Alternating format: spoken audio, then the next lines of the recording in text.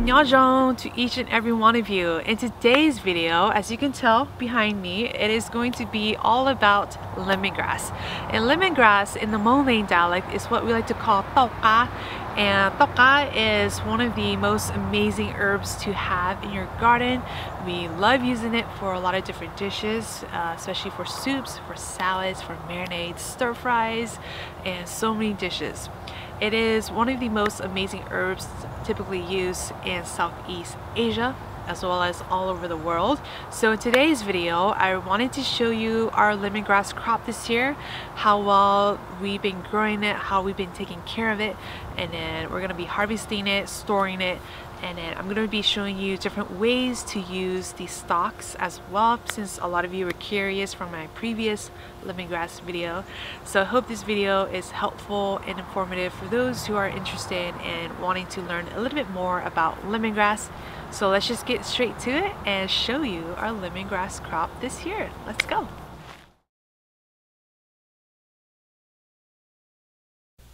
So here is the lemongrass that we saved last year. It's been sitting in a glass vase in water for about a couple of months now. Uh, usually we will harvest lemongrass in the fall around maybe mid-October or early October and save some, put it in a glass jar, fill it with water and let it sit by the window to get some sunlight up until springtime or until they are ready to be planted. As it sits through the winter time, we do like to change the water at least once a week or about three times a month. And we like to fill it about halfway up uh, with cold water and then place it back up by the window again. And as time goes by, you will start to notice the roots sprouting out like this. That means it's doing really good and it will be ready to be planted during springtime. So a lot of you might be curious if you can actually grow lemongrass from buying the store-bought ones. So this year I experimented with it and I will show you how it went. So before you actually buy lemongrass stalks at your local Asian grocery store or any store that provides it, make sure you pick and look at the quality of the stalk. So when you're going to the store, I usually like to look at the bottom of the stalk here. And what you're specifically looking for is the bulb here. The bulb here should still be intact. That means when you're growing it, the roots will continue to sprout out. So make sure you pick stalks that still have the bulb here still intact. A bad example would be something like this. Uh, the bulb has been cut a little bit too much and you can tell it's fairly dry and cracked in the middle here. So just putting it side by side so you can tell which one is good and which one is bad when going to pick a bundle of lemongrass. So when buying lemongrass stalks from the grocery store, it usually comes a full stalk like this without the actual leaves. But before we actually propagate it, we are going to trim off the top part.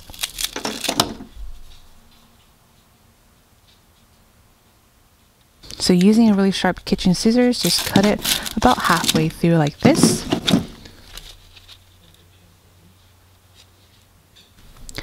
And here I have a glass jar filled with cold tap water and we're just going to place the lemongrass stalks right in and allow this to sit for at least two to three weeks. You can actually do this process during late fall and let it sit all the way up till springtime, just like how we did with the lemongrass that we harvested last year. But you can definitely just do this a couple of weeks before you're planning to plant lemongrass in the springtime. Within a week or so, you'll start noticing the lemongrass sprouting out like this. And then this is what it looks like two weeks later. And within the third week, uh, we can start planting it. And if you look at the bottom bulb here, you'll start noticing some tiny baby roots popping out. So at this time, it is okay to start planting them.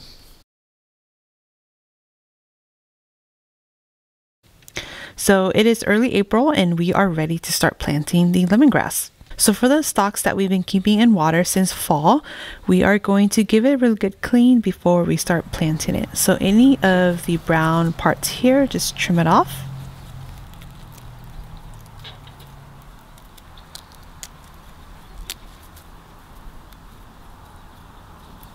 Just make sure the roots are still intact as you peel off any of the unwanted parts. And they should be clean just like this. And here we have it. So my mom and I like to divide these into groups depending on the size. Some of them are a little bit bigger than the others, so we like to divide it so we know how many stalks goes into each pot. Lemongrass loves sunlight as well as humidity. So for us, since we live in zone 8B, which gets a fairly good amount of sunlight as well as rain, we actually like to grow it in black nursery pots. And we are using 7 to 10 gallon black nursery pots uh, to help grow it. Usually the bigger pots, the better so that it can actually root out. Because the pots are fairly big, it does use a lot of soil. So what my mom likes to do is just fill it halfway up with soil from last year. So she usually just scoops uh, soil from our garden bag from last year and just fill it up halfway. And then this is the potting mix that my mom and I like to use to fill it up. Go ahead and fill up the rest of the pot with the potting mix. And you want to fill it up about three quarters in.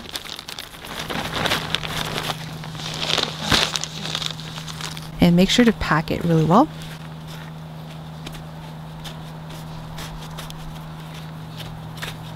And do it to the rest of the pots.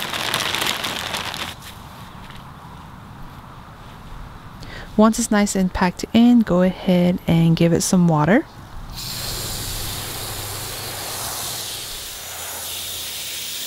And then depending on the size of the stalks, you can grow at least three to four stalks per. So with your fingers, go ahead and make an indentation about maybe an inch to an inch and a half in, and then just place each stalk into it. Make sure it's nice and sealed in and compact into the soil, and then go ahead and finish the rest.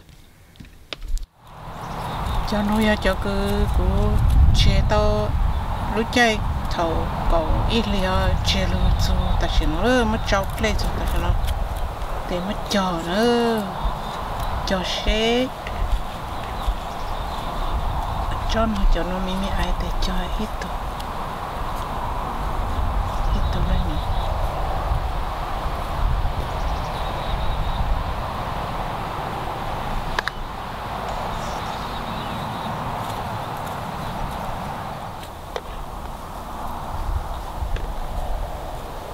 giờ ta để cho nó có cho nên là mình giữ lên nó cho có một sức để tàu một lên một sức đá nó để tàu sức để nó nhớ nó để bên nó để chẳng đủ cú cú tôi để cho lấy lưu tôi để cha tôi để sang mình nhiều để nó để lên đầu sức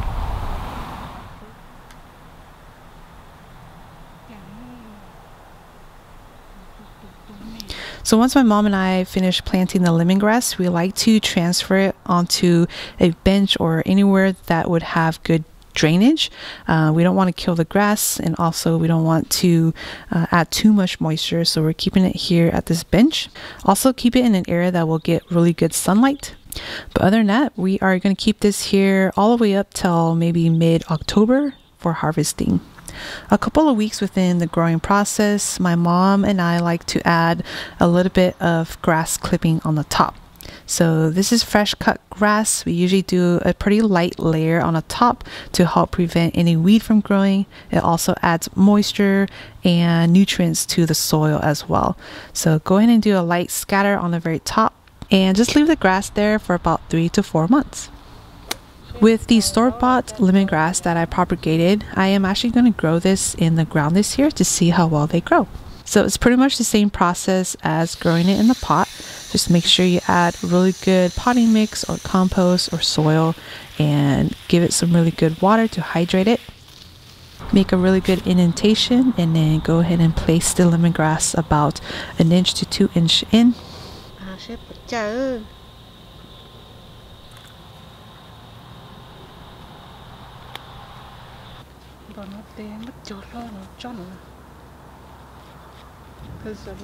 And then cover it up with some more soil.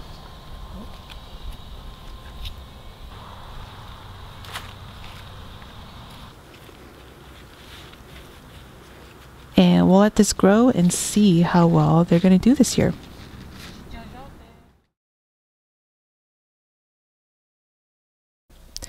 Currently June and this is what the lemongrass looks like. We're having a pretty late summer this year, so it's been growing pretty slow.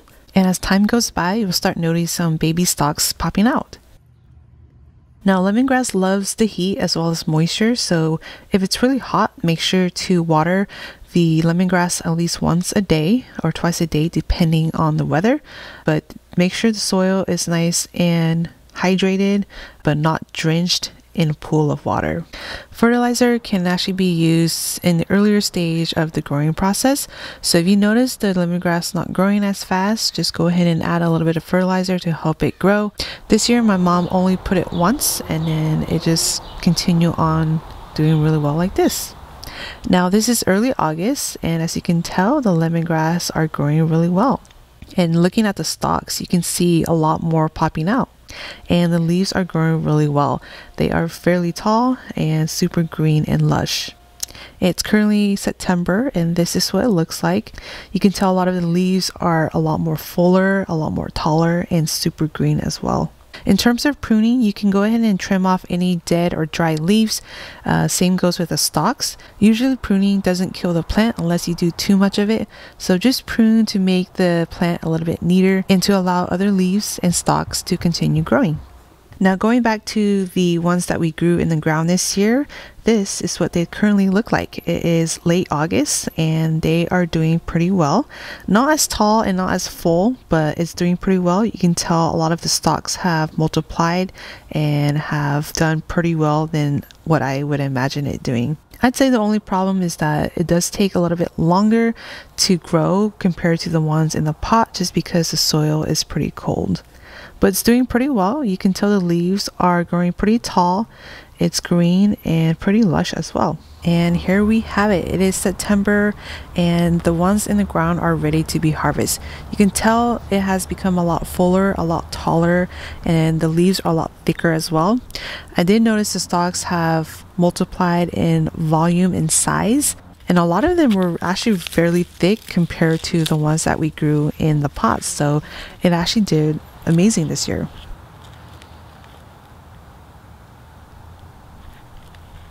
Nếu là cho nuôi ờ, cho tất cả này cho em.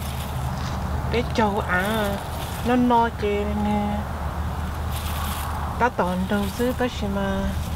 Dù lúc chạy cứ giờ mua sau cho mà cha thì ấy giờ mua trả cho mà cái cha cho freezer rồi nó xe này pin nó thì chọn plong này tôi pin chạy lên nó thì tao mua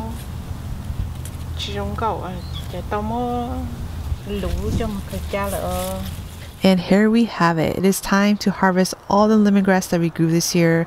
I'm actually very happy by how well they all look and how tall and beautiful and green and lush they are, especially the ones that we grew in the black nursery pots here. But since the frost is approaching us pretty soon, it is time to start harvesting. So before we start harvesting them, make sure you wear some really nice protective glove because the actual leaves here are very sharp. They're paper thin sharp. So make sure you wear gloves to protect your fingers and so that you don't get any cuts. And the tool I'm going to be using is a pair of scissors. So with the scissors, I'm going to cut about two inches down below where the leaves are located. Now you can actually use a knife and pull out the roots, but because the leaves are really tall and really full this year, I wanted to cut the leaves off first so that they are out of my way before I take care of the stalk. So for the leaves, I like to remove a couple of the layers, especially the ones that has some dirt in it like this.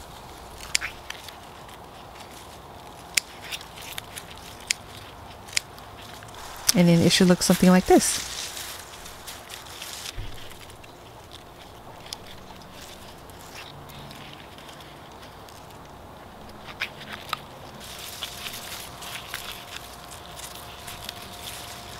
Now for the ones that we trimmed off, don't throw it away. We are going to trim off and cut off this part here and save the leaves. So in a big bowl, we are going to place the leaves in and give it a really good rinse.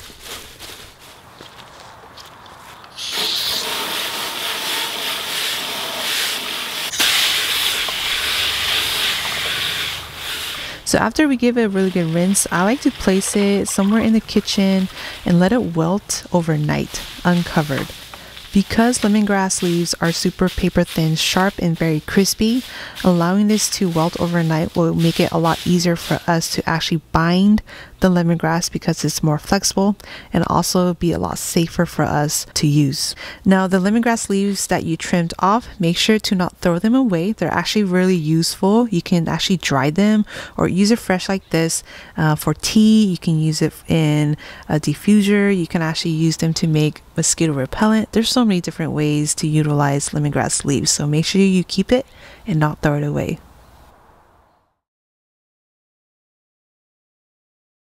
Because lemongrass leaves are super paper thin sharp, they're only used for its essence, for its aroma. So what my mom and I like to do is to bind the leaves into bundles like this. So my mom's an expert and she will show you how she does it. It's pretty easy as long as you get the groove and keep practicing it.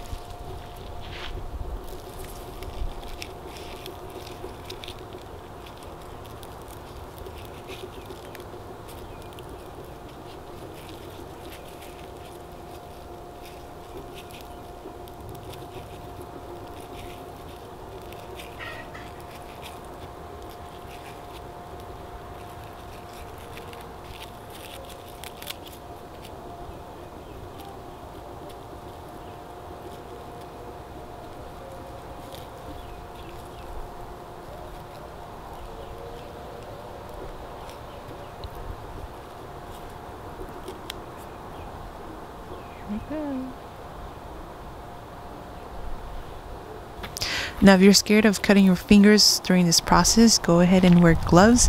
But because we'll let this sit out overnight and let it wilt, it is actually a lot more flexible for us to use and the sharpness of the leaves have dulled down.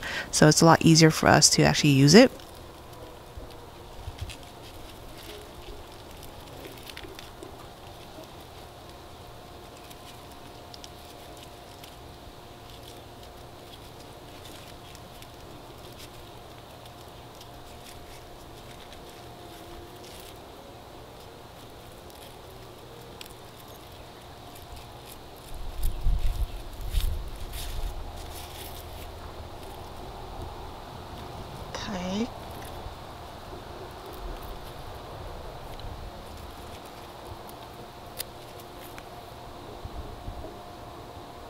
And here we have this beautiful lemongrass leaf bundle.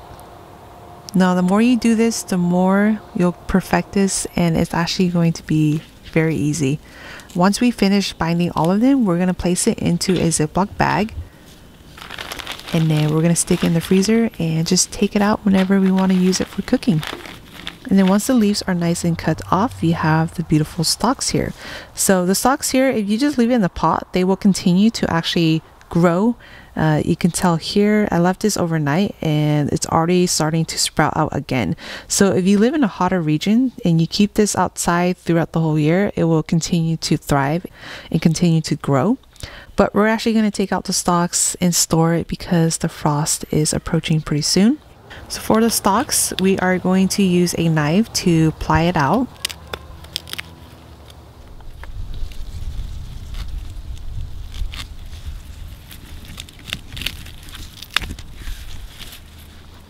Just like this.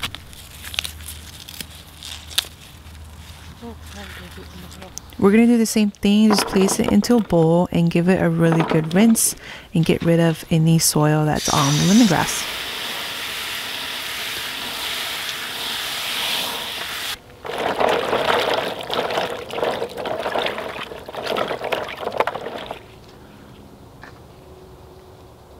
And here we have it. This is the lemongrass leaf that we binded, placed in a Ziploc bag along with the lemongrass stalks here. We're going to place these into the freezer and then just take it out whenever we want to use it for cooking. So a lot of you might be curious, how do you use lemongrass stalks and how do you use lemongrass leaves? So I'm going to show you how I like to cut them and what ways you can actually use it. So for the leaf bundle here, we actually only use it for its aromatic and essence. We love putting it into soups and stews or stocks. I also made uh, lemongrass ginger tea and that was amazing. After it's done its job, go ahead and discard it and that's pretty much it for the leaf bundle here. And for the stalks, there's multiple ways of actually using and slicing and cutting them. So I'm going to show you multiple ways that I like to use it. So the first way is with a pestle. I like to just pound it. And we're just going to pound this to release the natural lemongrass oils here.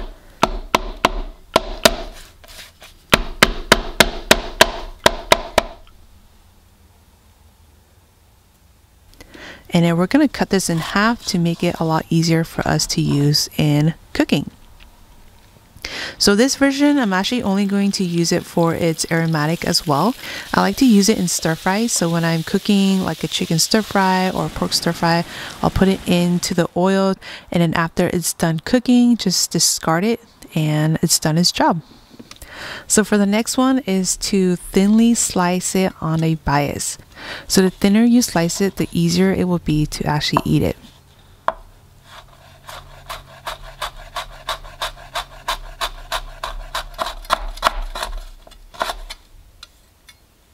So it should be fairly thin like this.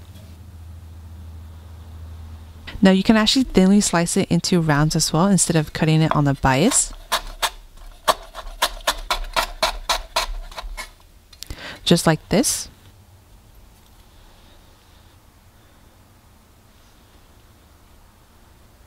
And both these versions can be used in stir fries. You could put it in salad dressings. You could put it in la. You can put it in um, soups. You could put it in a lot of different dishes actually. Now the most common way to use lemongrass stalks is to finely mince it. So I'm going to use a pestle and just pound it to break up the stalk.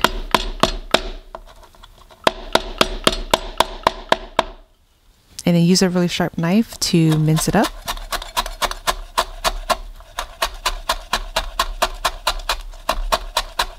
and just go back with your knife to make it a lot finer.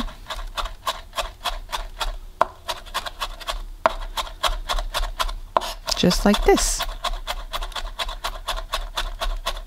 Now if you don't want to use a knife, go ahead and just rough cut the lemongrass and put it through a food processor or blender and just make a lot finer like this. Now you can also find minced up lemongrass in a lot of Asian grocery store in the frozen section as well. Other than that, minced lemongrass is used for multiple of different dishes. I love using it in chili oil. You can use it in marinades and marinate any type of meat, especially goes amazing with chicken, with pork, with beef, a lot of different poultry actually. It also goes great with fish as well. Other than that, these are the different ways I like to cut and use the lemongrass stalks and leaves. So I hope you found that pretty informative. Other than that, uh, don't forget to save some stalks. Uh, make sure these stalks still has its root intact to it because these will be the ones that we're going to save in a glass vase filled with water for next season. And don't forget to check out my website. I do have pictures as well as detailed information about pretty much growing lemongrass. Uh, so check that out if you want to learn a little bit more about it. So I hope you enjoy seeing how our lemongrass grew this year. I hope this video was informative for those who wanted to learn a little bit more about lemongrass. Until then, I will see you in my next video.